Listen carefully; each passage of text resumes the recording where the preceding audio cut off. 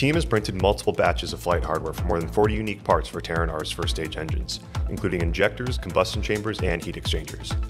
On the stage manufacturing front, the team completed the second, third, and fourth circumferential friction stir welds, joining the second stage LOX dome to the LOX barrel and the fuel barrel to the common dome and fuel dome. This completes the stage 2 flight tank weldment, a huge milestone for the program. We set an ambitious goal to have a tank by June, and the team rallied to make it happen.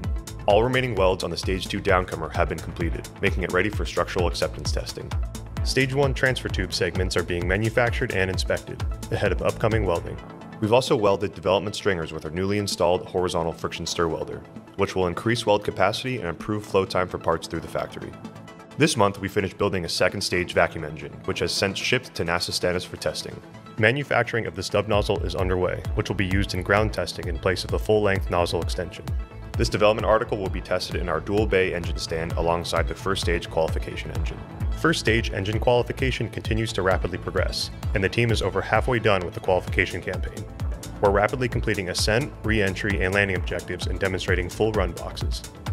Back in Long Beach, shear towers for the structural test stand have been installed. These test fixtures will apply large shear forces to components, verifying that they can withstand the loads experienced during flight.